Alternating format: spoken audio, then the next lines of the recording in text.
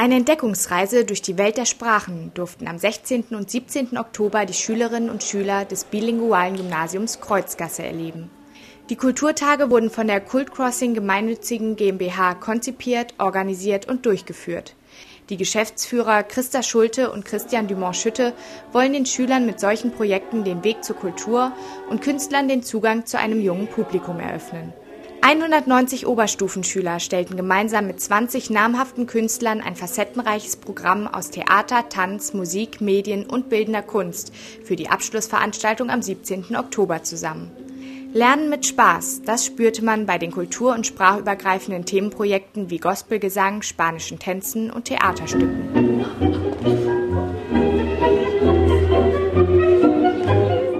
Ich fand das auf jeden Fall sehr positiv, dass wir mal was anderes als den normalen Schulalltag gemacht haben und dass wir mal ein bisschen was von anderen Kulturen mitbekommen haben.